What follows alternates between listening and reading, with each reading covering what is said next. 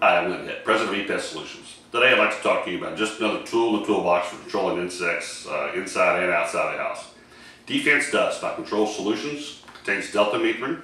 Uh, the formulation is a very unique formulation. It's very moisture resistant, so it's very, very effective in high moisture areas where a lot of other products would not hold up in that area.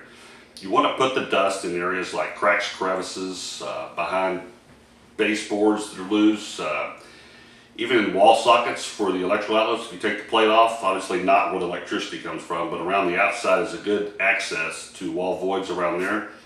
Um, again, very easy to apply. Just take the top off, put the dust in. Sometimes uh, I've seen pest control operators will put a penny in there just to keep the dust fluffed up.